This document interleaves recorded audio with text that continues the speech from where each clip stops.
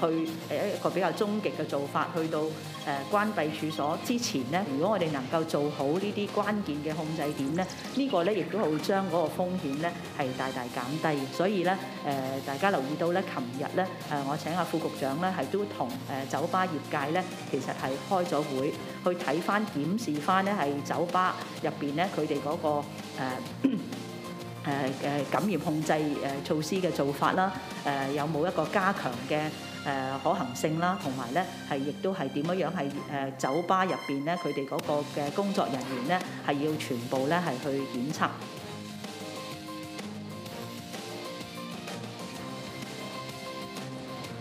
华人情，华人事，欢迎收看华文大直播，我是谢雅芳。香港疫情反弹，新冠肺炎本地感染以及源头不明的个案都出现了上升趋势。食物以及卫生局局长陈肇始表示，当局正严阵以待，并对包括酒吧、餐厅等在内的关键控制点加强防疫措施。那么，更多消息立刻来看今天的焦点追击。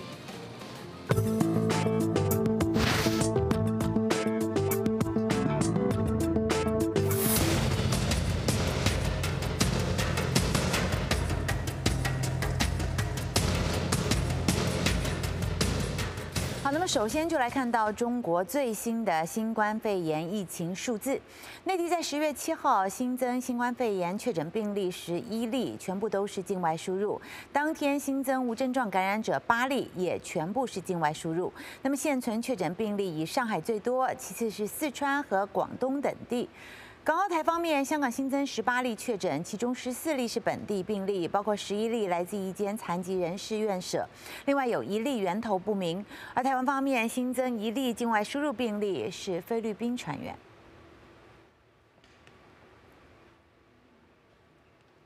好，那么更多有关香港疫情反弹的消息，我们要先把现场交给香港直播室记者季思清来我们报道。思清，晚上好，雅芳。首先，我们来看一下，截至九号凌晨，香港新增十八宗新冠肺炎确诊个案，其中有十四宗是本地个案，是近一个月以来最多。香港卫生署署长陈汉仪警告，疫情出现反弹，有恶化趋势，情况令人忧虑。请看报道。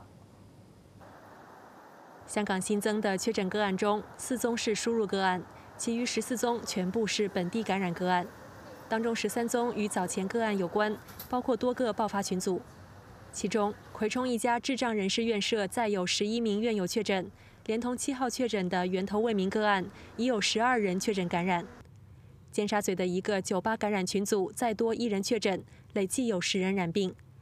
另外有一宗源头不明个案，患者是退休人士，经常去健身中心做运动。卫生署署长陈汉仪警告，过去一周本地感染由较早前一周的八宗大幅上升至三十五宗。其中源頭不明個案佔兩成，疫情出現反彈。香港二零一九冠狀病毒嘅疫情呢，係有惡化嘅趨勢。社區上有唔少嘅確診個案呢，都係本地嘅個案。喺過去一個星期，即係十月一號至到十月七號呢，已經有十二宗源頭不明嘅個案，佔總數嘅百分之二十。數據顯示，香港本地感染個案呢，係有明顯上升嘅趨勢，疫情係出現咗反彈嘅警號。陳漢儀又說，病毒繁殖率也重新突破一的水平，代表社區傳播出現惡化，情況令人憂慮。當局將加強社區層面及特定群組的檢測，派發更多樣本瓶。政府亦都會積極研究咧，喺一啲個案或者群組較多嘅地區咧，設立一啲臨時嘅檢測中心，方便市民咧係主動進行檢測及早識別，希望早啲切斷社區嘅傳播鏈。咁我哋初步計劃咧會喺葵涌啦、九龍城啦、尖沙咀同埋灣仔啦係設立檢測中心。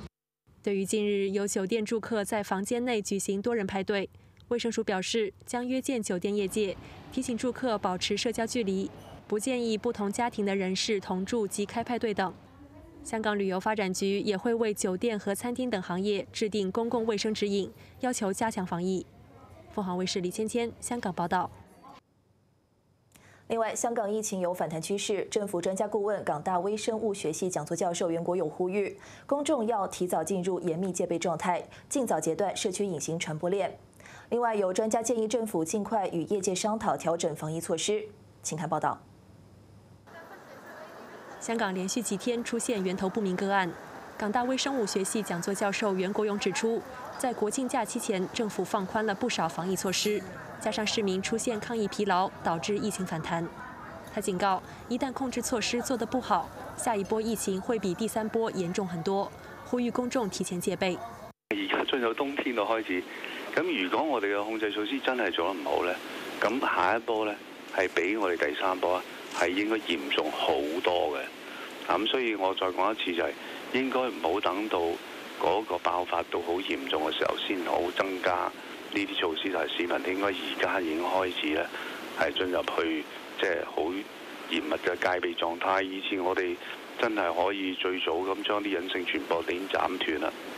呼吸系统专科医生梁子超也指出，疫情处于加速上升阶段，感染源头不明个案引起的关联个案会陆续涌现，建议政府尽快同业界商讨，考虑调整防疫措施。措施都係要盡早考慮，如果你真係要做嗰陣時候咧，都係要盡早引入咯。咁、嗯、你而家睇嘅當然係佢可以即刻要諗嘅，係一啲個別嘅一啲場所啊，或者個別一啲組群嘅，佢究竟係點樣可以譬如話迅速去介入去睇睇。另外，有三名在旺角不同藥房工作的男子確診。港九藥房總商會副理事長張德榮表示，三人互相認識，平時會去對方店鋪借貨。會提醒藥房員工加強防範。鳳凰衛視李芊芊、舒振輝香港報道。以上就是香港今天的新闻重点，现在把时间交还给雅芳。好，我们先谢谢呃思清在香港的报道。那么再来看到台湾又传出输出新冠肺炎确诊病例，疫情指挥中心表示，近一接获日本通报三例，法国一例，都是从台湾出境之后在当地检验确诊，已经累计输出四十三例。不过台湾官方坚称台湾没有社区感染疑慮。台湾官方宣称岛内疫情稳定，近期新增的个案绝大多数是由境外输入。但疫情指挥中心表示，近日再度接获输出病例通报，其中日本通报三例，法国一例。确实对我们也造成一些困扰，不过我们还是哈尽量在有相关的被检验出来，不管它的哈背背景情况是怎么样，那我们还是把它哈当做就是本土的个案哈都来处理。台湾输出的病例已累计四十三例，其中有二十二例输出到菲律宾，占最多数，引发民众恐慌。台湾社区内有隐性的感染者。我们那时候他验出来二十二位阳性的，好，经过他居家检疫十四天之后再验，这二十二位全部都是阴性。好，所以這個倒是哈，就是其实如果是这个就会比较稍微朝向有一点检验上的一些问题了。这些被出去出去被验阳性，他的任何接触者都没有带病毒，也没有产生抗体。我们实在找不到我们社区里面什么地方有问题。官方声称是海外地区检验有问题，但部分舆论认为，台湾不断被通报输出病例，也应该检讨当前的筛检方式是否也可能有问题。医界人士示警，如果社区内有潜藏危机，入冬后可能爆发大规模感染。凤凰衛視藍建圖陳建达台北报道。好，那么去一下广告回来，要继续带您关注香港有教师被除牌的问题。我们一會見。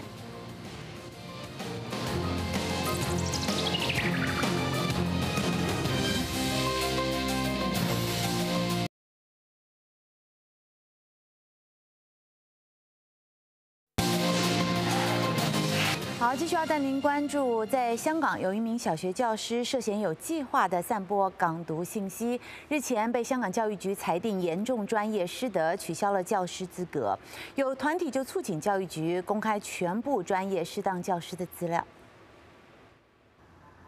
涉事的教师来自九龙塘宣道小学。香港教育局指出，其设计的教案、教学材料等有计划地散播港独信息，其中不少内容属于扭曲和偏颇，对学生构成严重损害，因此决定取消有关教师注册。教育局已经向涉事校长等人发出谴责信，并向在教学中使用这些材料的教师发出书面警告。教育局不排除稍后有其他严重失德的教师被取消教师注册。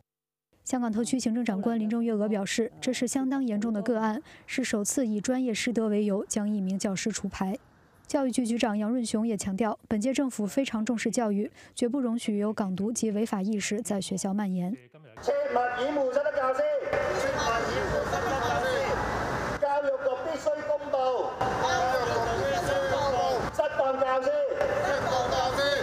香港有团体到政府总部门前请愿，促请教育局公开全部专业适当教师的资料。团体召集人指出，消费者和公众对遭投诉的店铺有知情权，学生、家长和公众是否也应对学校有知情权？希望教育局局长杨润雄作出解释。杨润雄早前在立法会回应质询时，拒绝公开被裁定专业师德教师的名单，认为会有标签作用，不利于老师去学校工作。凤卫视综合报道。好，那么相关的话题呢，在香港现场，我们请到了香港教育工作者联会副主席邓飞来我们分析。邓先生你好。你好。我们看到这次这个事件啊，涉及的是一名小学教师。那么香港近来频频有这些比较偏激啊，或是这些言论有一些扭曲的这些呃教师的教学内容出现啊。呃，而且这次面向的是这些呃心智没有完全成熟的低年级的小学生。所以你怎么看啊？香港有没有一个呃对于老师的资格、操守等等的审查的一个标准机制？如果没有的话，是不是有必要建立一套？呃，其实是有这个机制存在的，只不过这个机制的透明度就不算很高。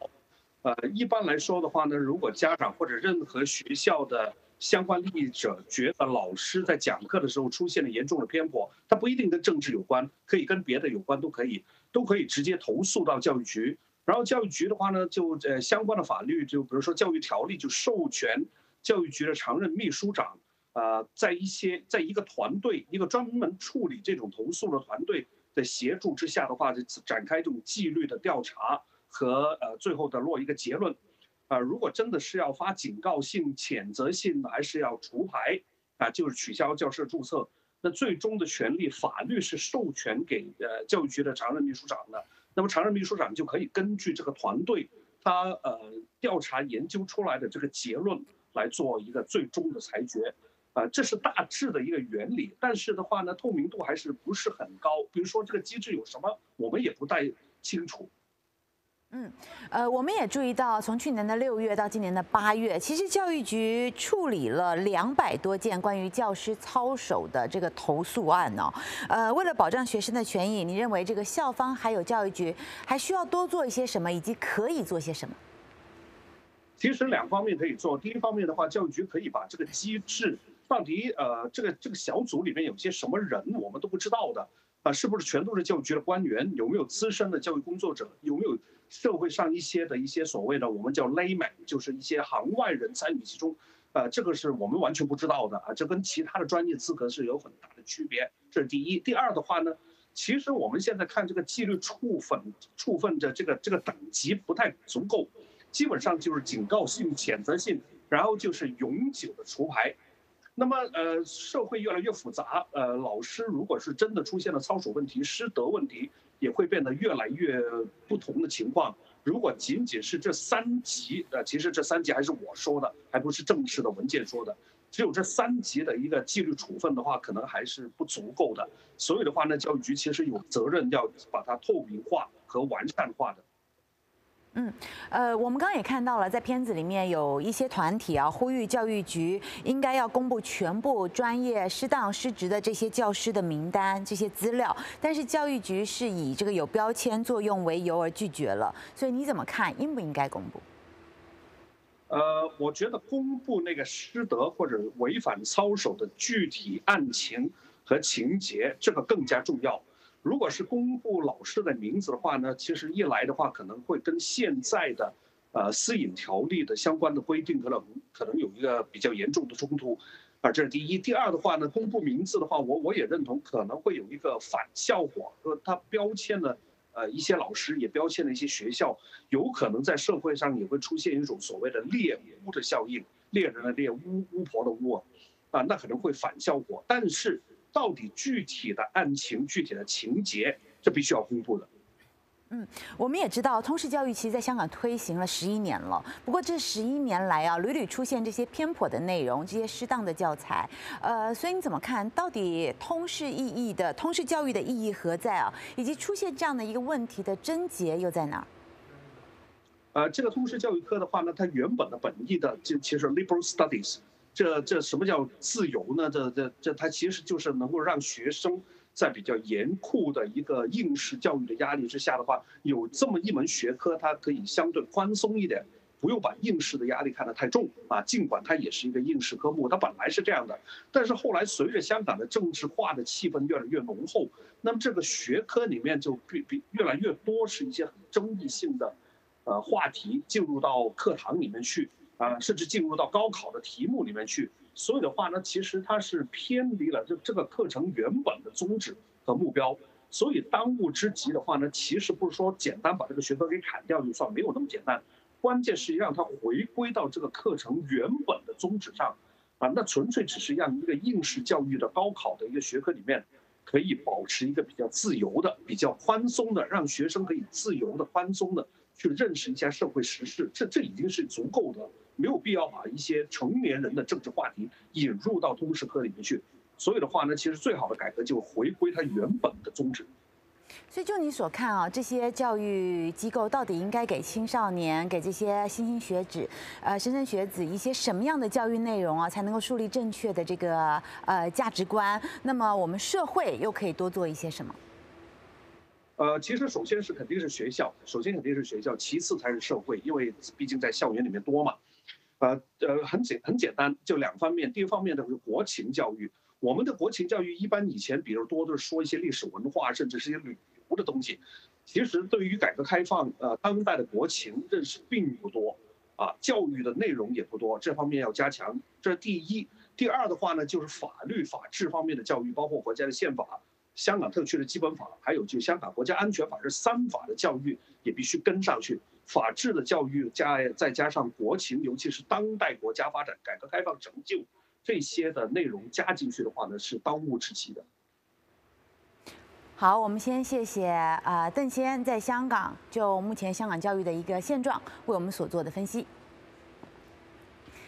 那么再来看到香港通识教育科推行超过十年，但是经常引起争议。有立法会议员就认为，香港教育局有责任尽快拨乱反正，并应投放更多资源推动国民教育以及国安教育。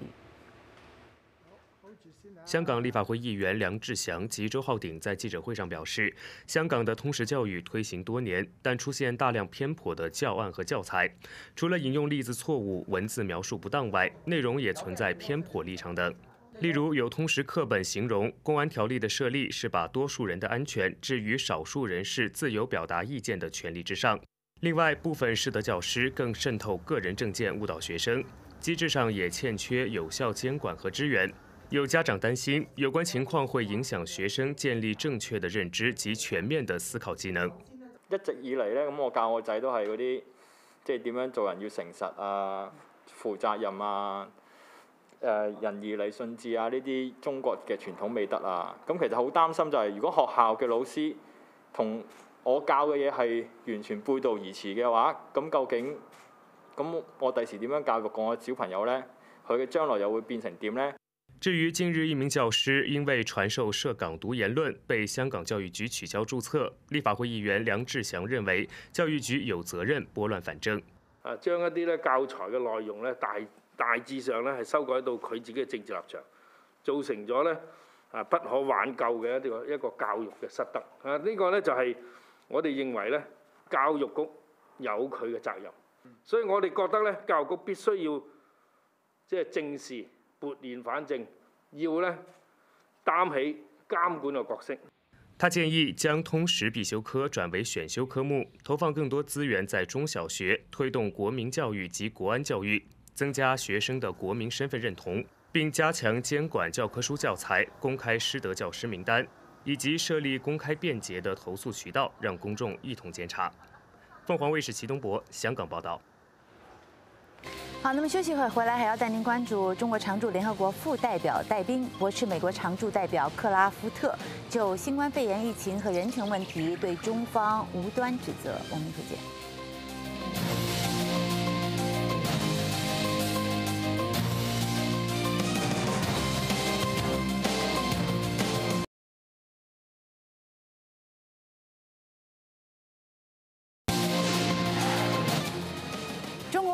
发言人华春莹八号宣布，应中国国务委员兼外交部长王毅邀请，印尼总统特使对华合作牵头人、统筹部长卢胡特伊朗外长扎里夫、菲律宾外长洛钦将于十月九号到十号对中国进行正式访问。那么，中国常驻联合国副代表戴兵七号在联合国大会第三委员会行使答辩权，驳斥美国常驻代表克拉夫特当天在发言中就新冠肺炎疫情和人权问题对中方无端指指责。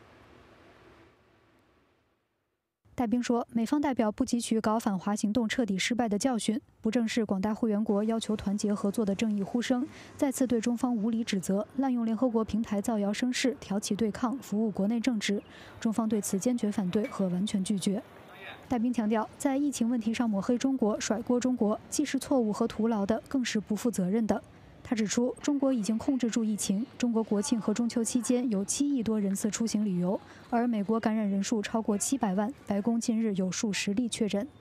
中方坚持生命至上，病患都能得到全力救治。而美国病亡人数已经超过二十一万，美方应该就世界第一的确诊人数和病亡人数给美国人民一个交代。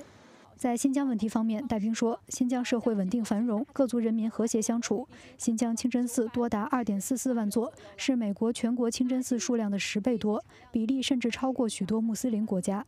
二零一零年到二零一八年，新疆维吾尔族人口从一千零一十七万增至一千二百一十七万，增长百分之二十五，增幅是汉族的十倍多。所谓强制绝育，完全是造谣。新疆每年接待两亿多国内外游客。近年来，九十多个国家的近百个团组，一千多人次参访新疆，没有人看到过新疆有关押一百万维吾尔人的集中营。美方撒如此弥天大谎，毫无良知。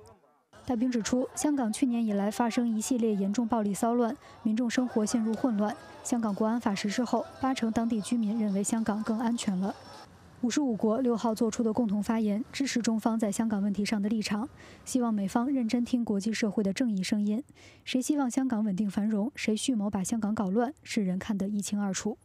大兵表示，当今世界面临多重严峻挑战，各国期待大国承担特殊责任，美国却大搞本国第一，关键时候退出世界卫生组织，对他国动辄恐吓制裁，肆意破坏多边合作。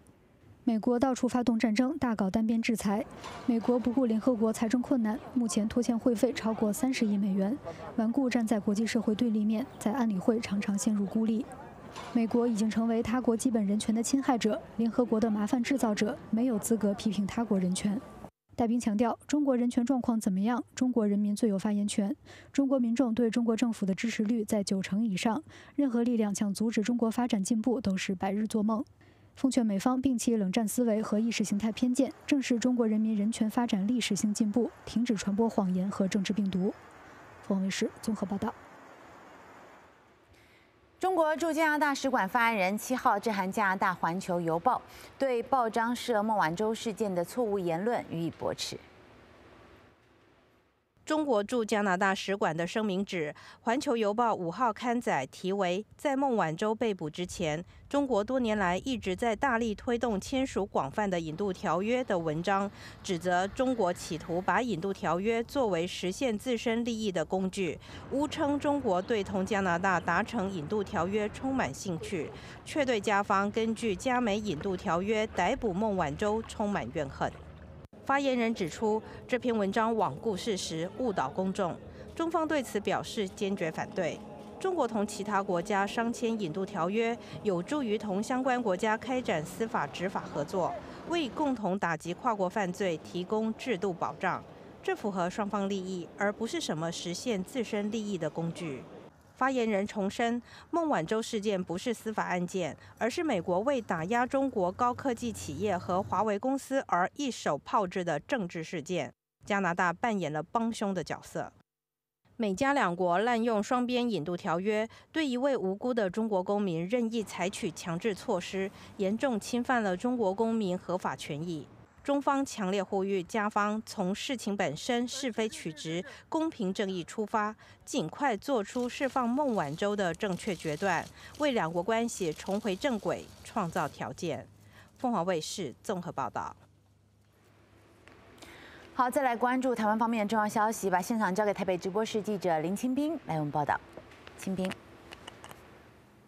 好了，谢谢雅芳。台湾官方十号将会举行双十活动，照惯例，军事部门以及民间团体都会受邀演出，八号下午在领导人办公室前的广场举行了预演，军方的越仪队、还有宪兵机车连以及维安特勤队接连的登场彩排，并且展示了多项的武器装备。请看我们以下报道。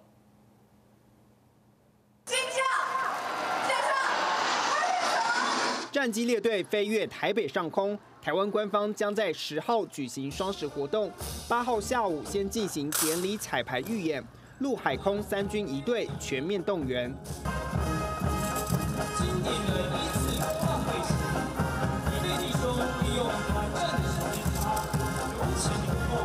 队伍整齐划一，展现花式操枪，配合乐队演奏，气势磅礴。接着，宪兵快速反应连四十辆重型机车低速行进，不断变换队形，车上搭载红准火箭弹、步枪、榴弹枪等多项武器，还有维安特勤队的反劫持、反恐演练，同样受到瞩目。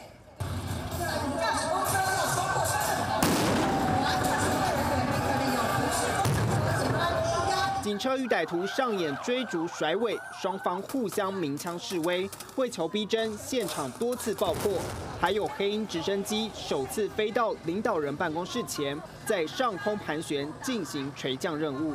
今年受到新冠肺炎疫情影响，台湾各界投入了防疫任务。双十活动上特别安排防疫有功人员站上悍马车，接受民众致意。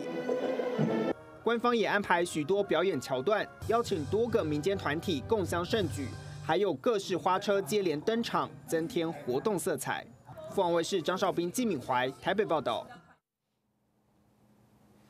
受到多重因素的影响，大陆籍的学生赴台湾就读的人数骤减，其中以硕士班以及博士班的人数减少最多。再加上台湾少子化的问题哦日益的严重。台湾的高教界因此忧心，不只会冲击台湾学界的研究能量，部分的系所恐怕也将会面临停办的危机。请看我们以下分析报道。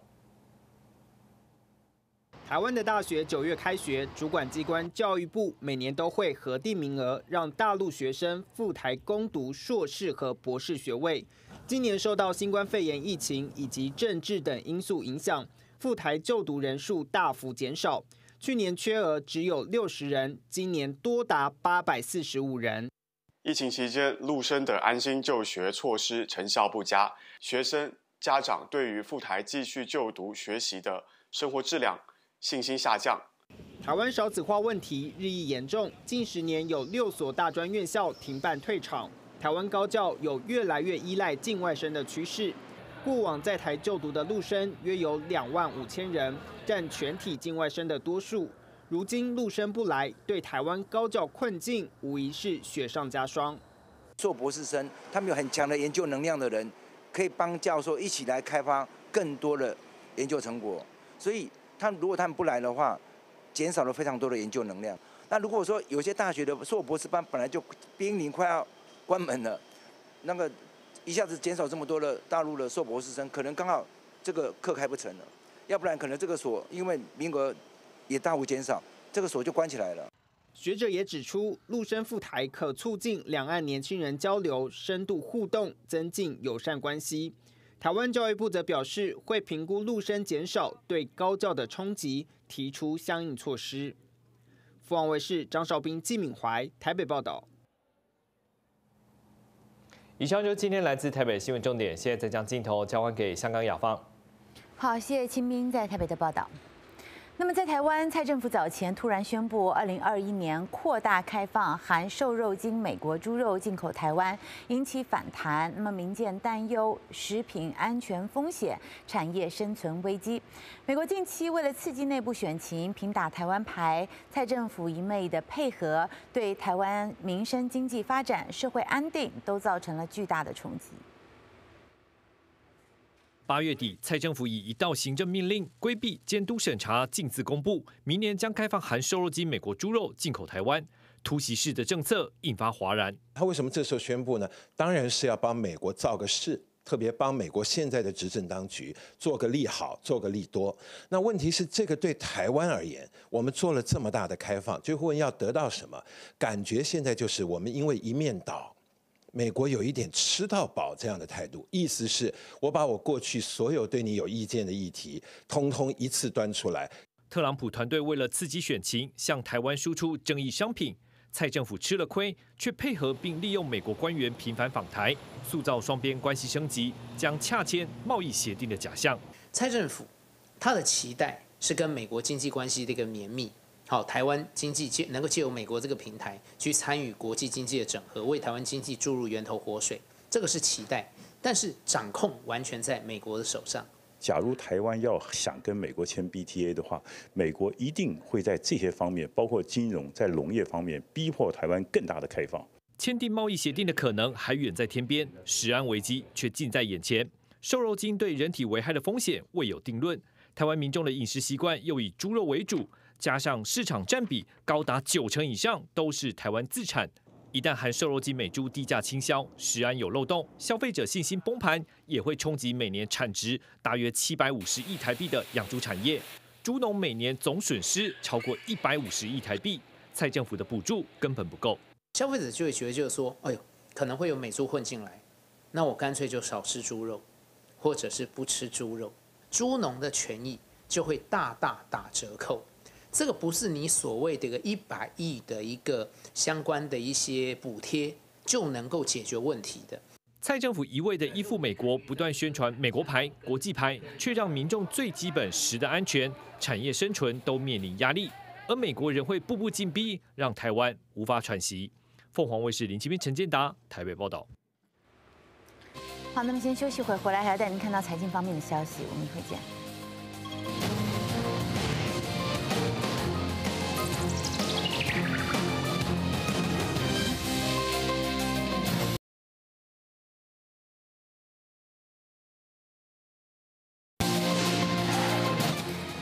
看到港元汇价星期四持续强势，站稳强方兑换保证水平，促使金融管理局密集出手干预。台币同样大幅攀升，早盘刷新超过九年新高，促使央行加大干预力度。香港股市近期重现新股热潮，令市场对港元的需求增加，推动港元维持强势。港元汇价周四更多时间站稳在七点七五的强方兑换保证水平，促使金融管理局继续出手干预。在香港交易时段傍晚承接了十五点五亿港元买盘，是连续第三天入市。银行体系总结余到下周二将会上升到两千七百五十点三三亿港元，刷新超过四年新高。从四月至今，已经有超过两千亿港元资金流入银行体系。台币也是强势上扬，早盘最多曾上升近三角，到二十八点六八对一美元，刷新二零一一年七月上旬以来的新高纪录，促使央行加大干预力度，令台币汇价回到平盘下方做收。台币快速升值，令机械生产等出口主导的传统产业和制造业受到影响。经济部日前表示，会向央行反映汇率问题。人民币汇价方面，在按市场重开前夕，离岸汇价走势趋于反复，在上升和下跌之间争持，缺乏方向。但午后曾经涨破六点七三水平。其他货币方面，韩元上升至超过十七个月新高，但土耳其里拉继续下滑，一度跌破七点九四水平，刷新历史新低。凤凰卫视综合报道。电子产业持续回暖，韩国科技巨头三星电子发布初步业绩，预料第三季的盈利增长可能达到两年高位。三星电子公布，截至九月，三星电子第三季的营业利润大约为十二点三万亿韩元，按年增长百分之五十八，远高于早前分析师预估的十点五万亿韩元，涨幅是二零一八年第三季以来最高，销售额也升百分之六，可能达到六十六万亿韩元。有分析师认为，三星的盈利显著增长，主要由智能手机、电视及家电销售及芯片出货量增长带动，以及华为在美国扩大禁令生效前，向三星加急订购芯片补充库存带动。另外，芯片大厂台积电公布，九月公司营收达一千二百七十五亿元台币，较上月增长百分之三点八，较去年同期增长了百分之二十四点九，创下单月历史新高纪录。累计今年前九个月，台积电营收九千七百七十七亿元台币，较去年同期增长了百分之二十九点九。市场预计，在苹果新品手机的销量带动下，台积电第四季营收增幅有望上看百分之八，优于市场预期。凤凰卫视综合报道。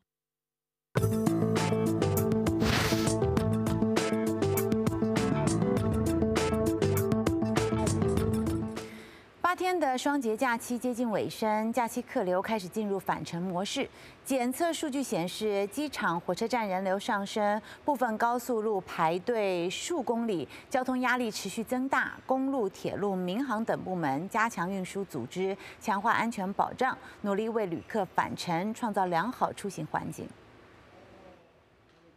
八号中秋国庆双节长假进入尾声，大兴机场公布数据显示，大兴机场迎来旅客返京高峰，当日预计客流量将达到九点五万余人次，计划起降航班六百七十六架次。自十月一号至七号，大兴机场共计迎送旅客六十四点六万余人次，保障航班四千六百三十九架次。日均客流量超九点二万人次，日均航班量达六百六十二架次。随着假期的结束，节后返程客流高峰或将持续至十月十号。投运以来，大兴机场客流量不断创新高，就提醒旅客进入航站楼仍需佩戴好口罩，配合体温监测及健康码查验工作，及时关注所乘坐航班动态，预留充足乘机时间和连麦出行，并推荐采用线上值机、航站楼自助值机、自助行李托运等智能化设备。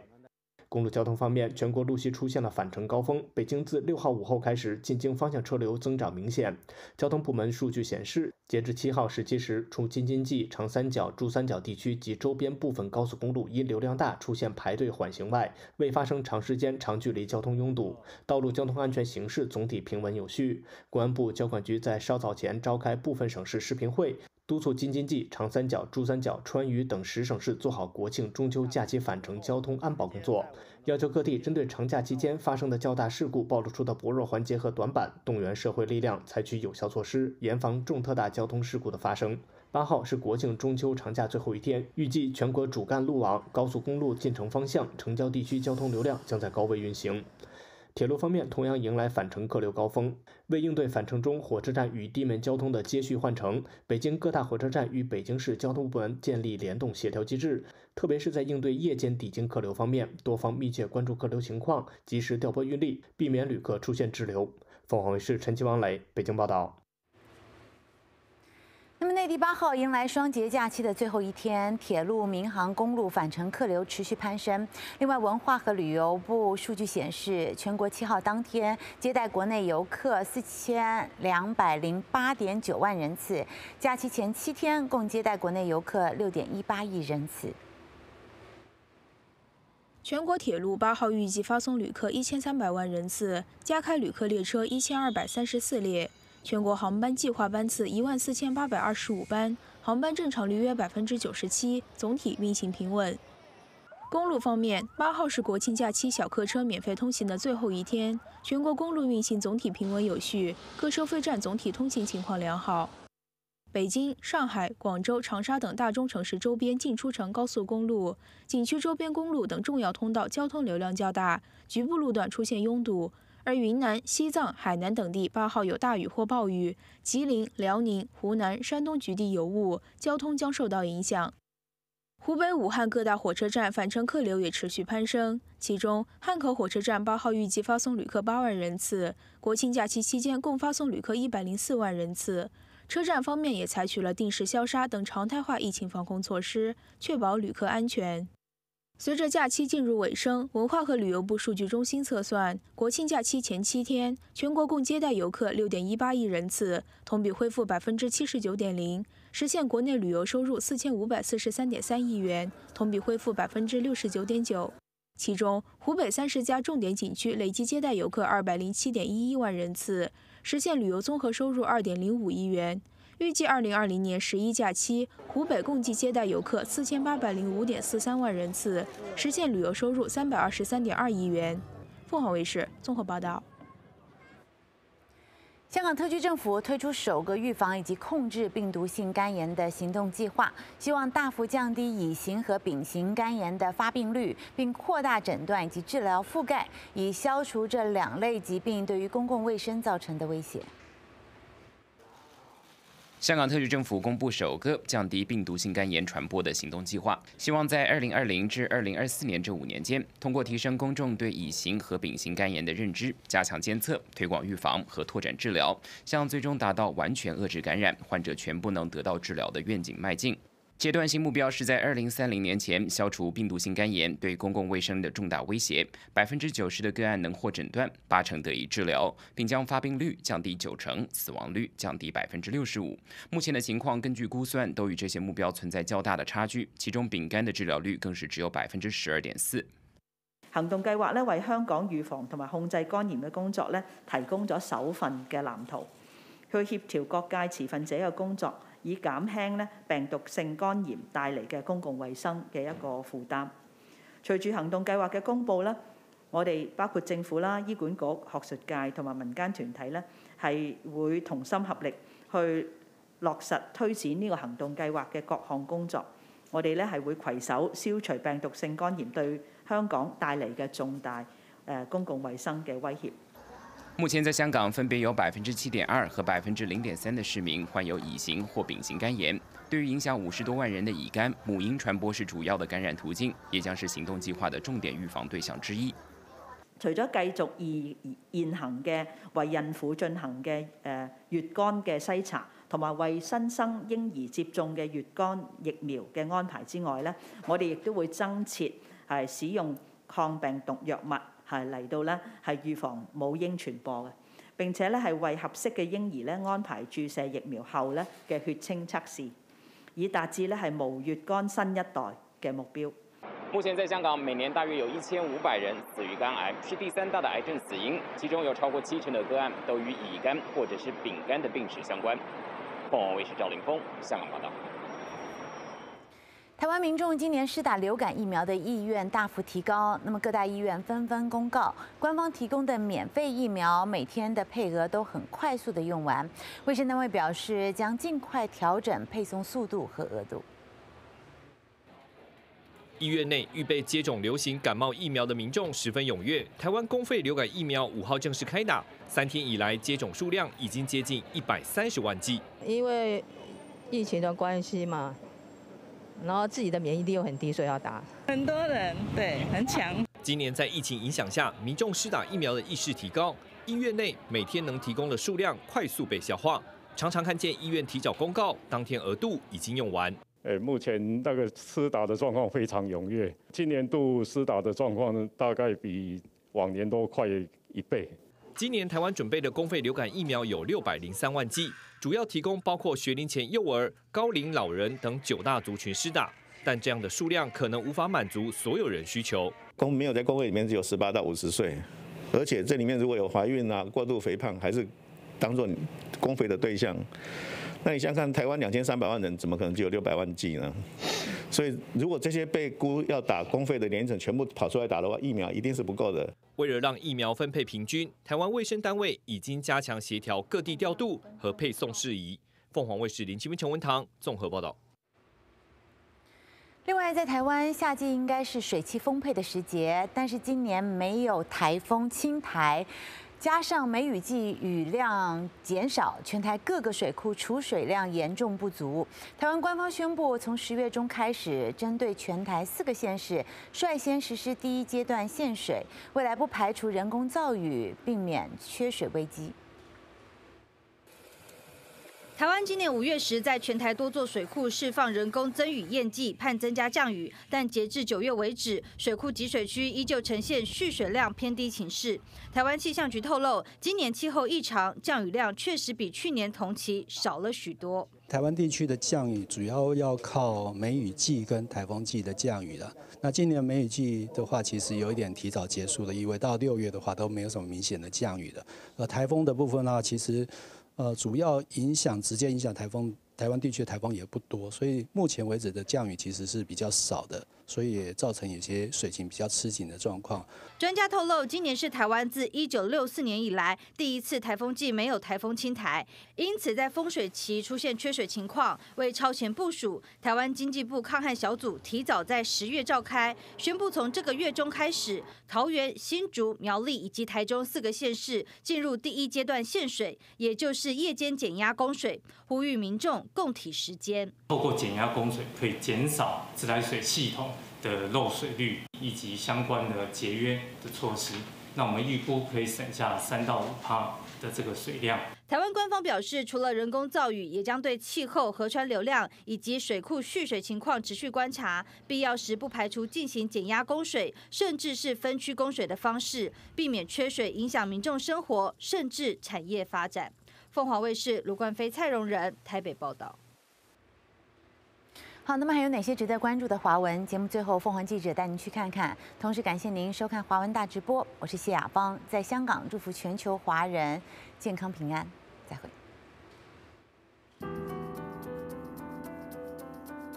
克林顿政府时期分管中国事务的助理国务卿谢淑丽表示，TikTok 和微信禁令是美国进一步扩大对华科技冷战。Frankly, it hasn't been very effective. Really, if you step back and look, we haven't achieved any improvements in Chinese policies to be more in line with our own interests and values. 古特雷斯强调，疫情给全球带来的经济损失高达每个月近三千七百五十亿美元，五千多万个工作岗位已经流失，人类数十年的经济发展成果发生了倒退。Much about the virus remains unknown, But one basic fact is clear: the world was not prepared. 澳大利亚人对本国人的伴侣要经过英语测试才能获得签证政策，已经引起了澳大利亚各族裔社区的强烈反对，让很多人感到不可理解，或者是甚至有人感觉到有一种备受歧视的一种呃现象。那么，甚至还有人说，呃，这样的要求剥夺了澳大利亚人的自由恋爱，甚至澳大利亚人的一个公民的一些资格。